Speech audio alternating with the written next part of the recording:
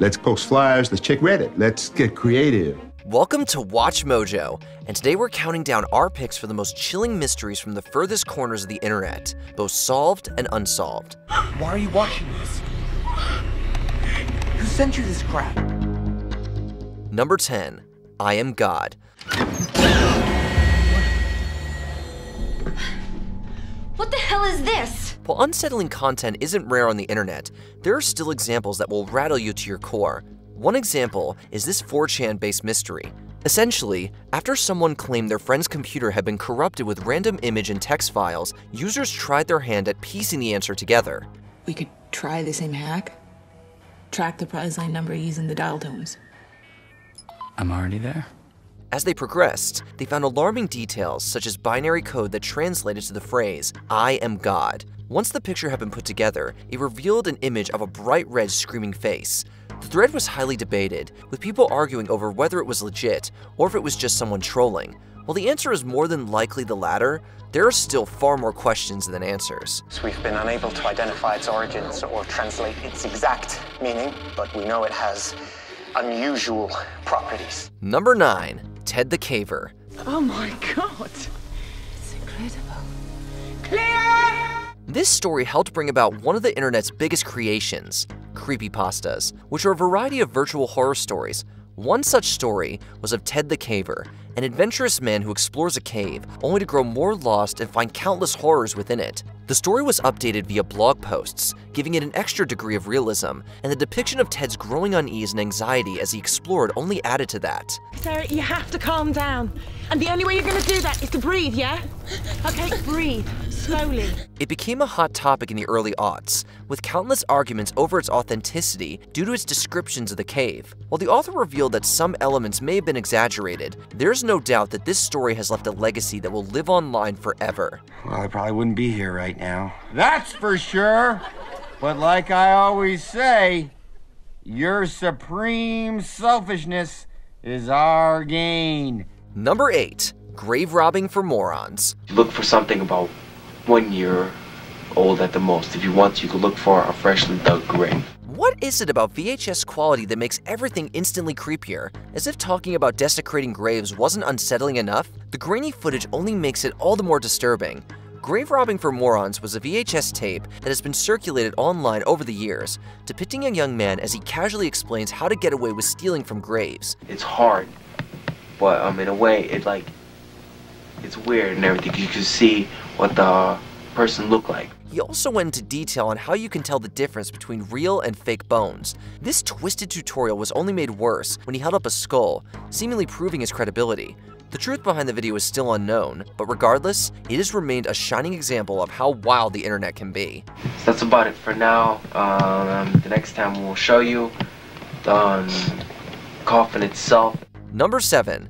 112 Dirtbag. We got our hopes up and we were thinking that we were finally closer to some answers. Not much is known about him, besides his infamous claim to fame. 112 Dirtbag published a video laughing eerily at the camera before celebrating the anniversary of a woman who had gone missing. What was more chilling was that his channel name was weirdly similar to a comment her father had made about who could have heard her.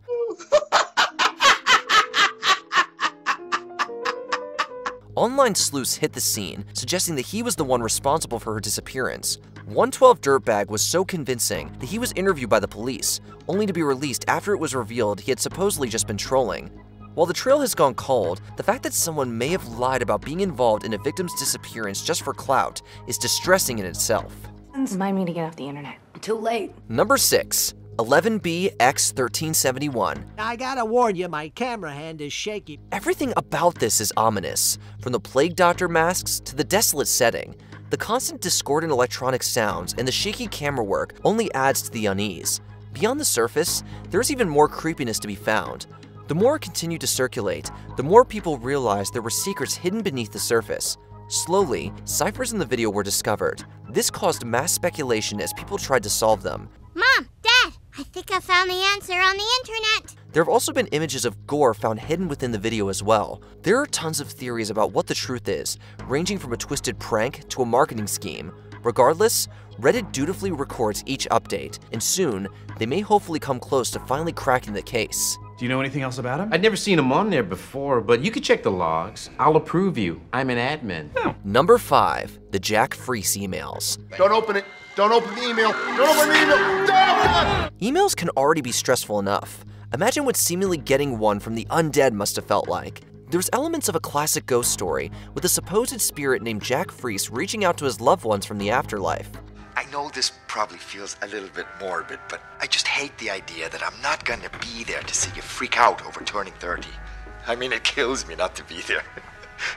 That's funny. It's not.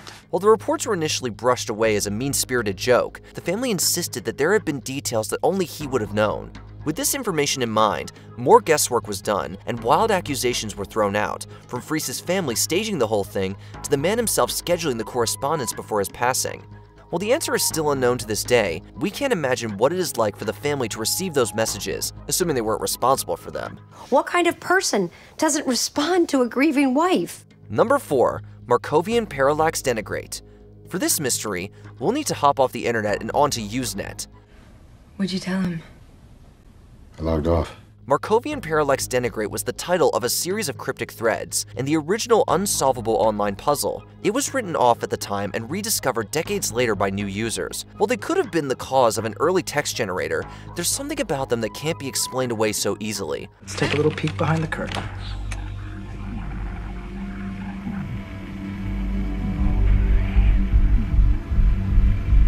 What? You have no idea how crazy that is, do you? Things only got weirder when the person behind the odd messages scrambled their IP, pinning them on someone else. That threw off the scent entirely, and people have been hungry for answers ever since. Today, it remains a legend of the old net. And she found some dark corners online. Things no child should see. Number 3. R slash A858.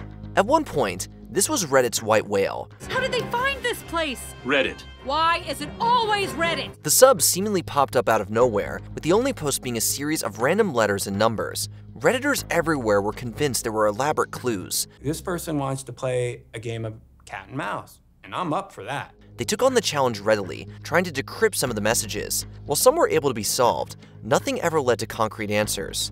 Things were made even more cryptic when the sub was suddenly made private in the mid 2010s, supposedly ending the mystery in its tracks. It was later revealed that it had been a marketing scheme the entire time.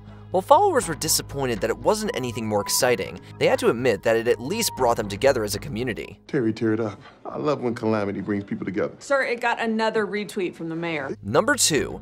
WebDriver Torso. News outlets around the world are now reporting on the YouTube channel WebDriver Torso. People online will create mysteries about anything if they let their imaginations run wild enough. In the early 2010s, users were puzzled when strange videos were posted to an account called WebDriver Torso. They just depicted colorful shapes bouncing around. The video containing both a blue or red shape seemed to be some type of code. However, as they were published more consistently, guesses began to circulate. Some suggested that they were messages from spies, while others guessed they were recruitment videos. It was later discovered that Google owned the account, which only made things more dramatic. It was finally revealed that the profile was a test, creating new content as a way of keeping an eye on quality. If WebDriver Torso had not loaded these unusual videos by automation, it would have taken it 5 minutes to edit and load each one, approximately 390,000 minutes. While it may have been benign, this hasn't caused it to fade away. In fact, it's been embraced by Google itself. Before we continue, be sure to subscribe to our channel and ring the bell to get notified about our latest videos. You have the option to be notified for occasional videos or all of them. If you're on your phone, make sure you go into your settings and switch on notifications. Number 1. Cicada 3301. The anonymous author who went by the four-digit pseudonym 3301 challenged users to uncover a message hidden within the image. Unbeknownst to those who stumbled across it, someone had just set in motion one of the most elaborate scavenger hunts the internet has ever seen. The creepiest mysteries are the ones that are truly unsolvable. Cicada 3301 puzzles hit the internet throughout the early 2010s, with the first one being released at the beginning of 2012. The object of the project? To supposedly find people with the highest IQs. A growing community of armchair detectives sought to unravel this elaborate puzzle, but no one was quite sure what to make of it. If there's one thing the web loves, It's a challenge. People set out to solve it and realized that it incorporated cryptography, which is essentially the study of hidden code.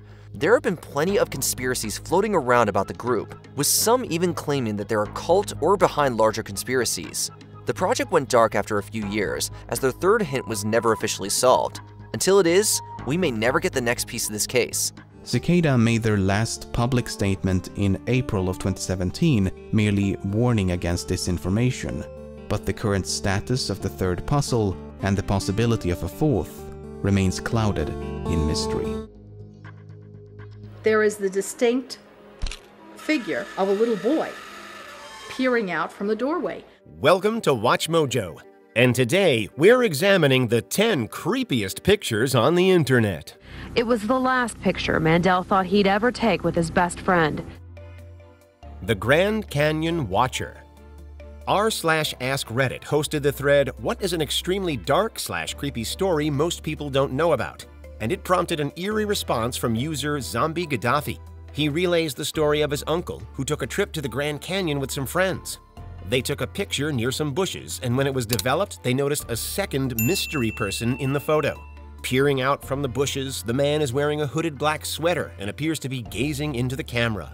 According to Zombie Gaddafi, his uncle has no idea who the other man is. Maybe he does and took the photo as a prank, or maybe it's a convincing shop. Either way, it's certainly creepy.